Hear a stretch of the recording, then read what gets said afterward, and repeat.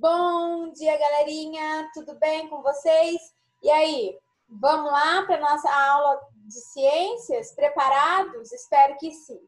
Galera, hoje nós vamos encerrar o conteúdo da unidade 2. Lá na unidade 2, nós falamos um pouquinho aí durante é, o bimestre, nós falamos sobre um mundo de materiais, né? Tá lá na página 50. Então, nós falamos que esses materiais, eles passam por transformação. Nós falamos que esses materiais, eles podem ser naturais, sintéticos. Nós falamos que a sociedade, né, depende desses materiais, que houve uma modificação desses materiais do tempo lá atrás para o tempo atual. Então, nós vamos fazer uma revisãozinha para poder fazer os exercícios de retomada, para que nas próximas aulas a gente possa começar aí um conteúdo novo. Partiu? Então, vamos comigo lá, acompanhando. Então, vamos lá. Então, vamos falar um pouquinho aí, relembrar, né? É, que os materiais, eles se transformam. Transformação significa mudança, alteração, algo que pode sofrer uma modificação. E dentro dessa transformação, a gente tem duas características: a física e a química. Na física, nós falamos lá que é aquele material que vai sofrer uma alteração, mas ele continua sendo o mesmo. Ele tem a mesma essência. Se eu rasgar o papel, ele não deixa de ser papel por isso. Ele simplesmente vai mudar o seu tamanho, o seu formato. A água congelada, a água é, gasosa, né? A líquida não deixa de ser água por estar em estados físicos diferentes. Então, transformação física, o material muda, porém a essência continua a mesma. Já em transformação química, acontece diferente. O material vai passar por uma transformação e ele vai ter uma mudança na sua essência. Pode ser caracterizado por mudança de cor, pelo cheiro, ou por aumento de temperatura, né? Aquele material não tinha aquela temperatura, ou ele se transforma num novo material quando existem é, mistura de soluções. Então, transformação química, nós falamos lá que muda a essência, sofre modificação e essa essência muda. Nós falamos lá um pouquinho também, né?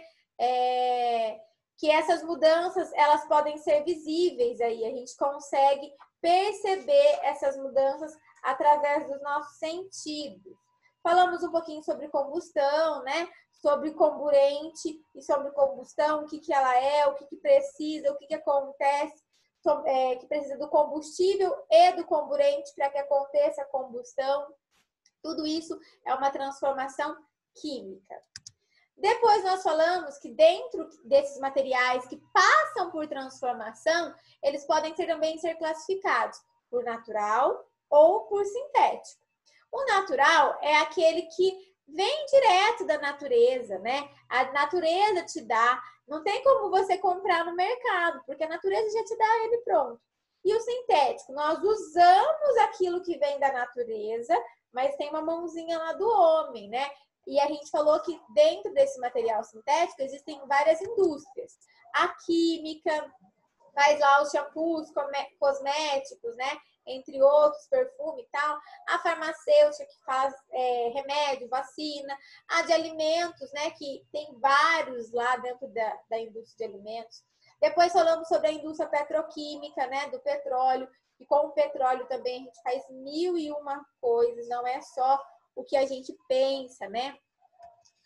E depois que nós falamos então sobre transformação física e química, que nós falamos aí sobre materiais naturais e sintéticos, nós falamos sobre um mundo de descobertas, que os materiais não existe mais importante um do que o outro.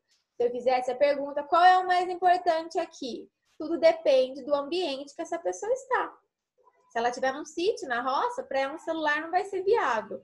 Um berrante vai ser muito mais importante, muito mais utilizado. Então, tudo depende do local que essa pessoa está, aonde ela se encontra e o que, né, o que, que ela precisa naquele momento. Nós falamos que antigamente os materiais que a sociedade usava era bem diferente, né? Nós falamos lá que o homem mudava muito de casa, né? de moradia. Eles moravam em cavernas de pedra. Eles precisavam pescar, eles não tinham pronto lá aí no mercado e pronto, a indústria de alimentos fez lá a lasanha congelada. Não tinha isso.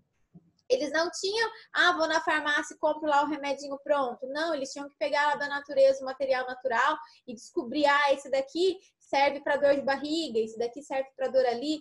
Então, eles eles tinham um hábito né, diário diferente do que nós temos hoje. Hoje é muito fácil, é muito prático. Lá eles tinham que caçar, lá eles tinham que procurar, eles tinham que plantar, e até por isso que eles mudavam tanto de moradia. E conforme nós fomos evoluindo, nós percebemos que os materiais também foram evoluindo. Que o homem deixou de morar nas cavernas, foi morar lá em casa de barro, né?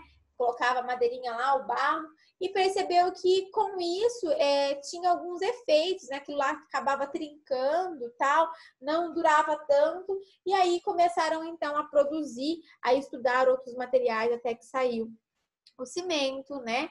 O piso, a tinta, a tinta deixou de ser aí por sangue ou por carvão, né? Sangue de animal ou, ou carvão como os homens da caverna faziam e os pisos deixaram de ser né, as pedras que às vezes eles colocavam e o cimento deixou o barro ali. Nós falamos que dentro desse mundo que nós vivemos hoje, os materiais estão evoluindo dia após dia, né? Que antigamente os celulares eram totalmente diferentes dos celulares que nós vemos hoje, mas também duravam muito mais, né? Não eram é, recicláveis, reciclados como a gente faz hoje. Hoje usa um ano, seis meses, já quer trocar. E com isso, né, com essa evolução aí desses materiais, com essa produção, né, de materiais novos aí, o homem acaba criando muito mais lixo. Isso mesmo.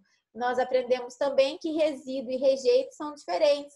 O resíduo é aquele lixo que eu posso o quê? Reutilizar, né? Falamos da importância dos 5 R's lá, que a gente precisa saber reciclar de maneira correta, repensar, né? Se eu preciso, se realmente é necessário.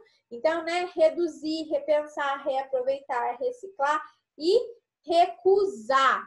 Às vezes eu não preciso comprar aquilo agora, não é porque o mercado criou um produto novo, um material novo, que eu tenho que trocar o que eu já tenho. Às vezes o que eu já tenho, ele me serve, então eu posso continuar usando ou reciclar em vez de jogar no lixo, doar para quem precisa, ou reutilizar de uma outra forma. Então, resíduo é todo aquele material que a gente pode usar de novo, que ele ainda tem solução, ele tem como ter um uso. É, pode ser não da mesma forma que ele tinha quando ele foi feito, mas ainda consigo fazer aí é, usar esse, essa matéria. Vou dar um exemplo da garrafa PET. A gente pode fazer mil e umas coisas com a garrafa PET. Dá para fazer horta suspensa, dá para fazer vasinho de flor. E entre outros, tem gente que faz poltrona usando as garrafas, né? Pneu velho. Então dá para fazer bastante coisa. E rejeito é aquele material que não tem mesmo mais é, como aí ser reutilizado, né? Resto de remédio, é, seringas, né? Agulhas que não tem mais o que fazer e aí realmente é lixo. Galera, então é só uma revisão bem simples aí sobre o conteúdo que nós trabalhamos dentro da unidade 2. É, trabalhamos materiais, transformação, né? Física e química. Essas duas transformações têm diferença. Depois falamos sobre o material natural e sintético, também tem diferença. Que dentro da indústria sintética e dentro da, do material sintético existem várias indústrias que produzem esses materiais. Falamos que a sociedade mudou, né? E que com ela, com essa mudança, os materiais também mudaram, também evoluíram. Então foi uma revisãozinha aí sobre esse conteúdo. E aí nós vamos lá no nossa página 88 e 89, nós vamos fazer o exercício de retomar, retomando, né, o conteúdo estudado. Então, exercício 1, 2 e 3 da página 88, 5, 6 e 7 ok? Então, seis exercícios aí para a gente estar tá fazendo, respondendo e será corrigido quando? Dia 24 na nossa aula ao vivo. Então, a atividade não precisa ser enviada e nem entregue na secretaria. Você tem uma semana aí para fazer a atividade para que dia 24 a gente corrija, corrija junto na aula ao vivo. Beleza, pessoal? Espero que sim. Então, só para a gente retomar aí o nosso conteúdo, só para a gente estar tá lembrando aí desse conteúdo que foi estudado. E na nossa próxima aula gravada aí, nós vamos começar um assunto novo. E lembra lá que a gente sempre precisa estar, tá, né, é, sabendo aí, porque toda matéria é uma escadinha, né? Então, eu preciso lembrar desses conteúdos para que eu possa seguir adiante. Gente, qualquer dúvida na hora de fazer os exercícios, pode me chamar, ó. Meu WhatsApp está aqui, fico esperando a sua chamada, a sua mensagem. Durante o período de aula eu te respondo no horário. Porém, se você me chamar fora do horário de aula, você espera um pouquinho, que assim que eu estiver disponível, eu respondo você também, tá? Um grande beijo para vocês e bora lá fazer os exercícios agora, não deixa para depois, hein? A gente se vê na próxima aula ao vivo, sexta-feira de matemática.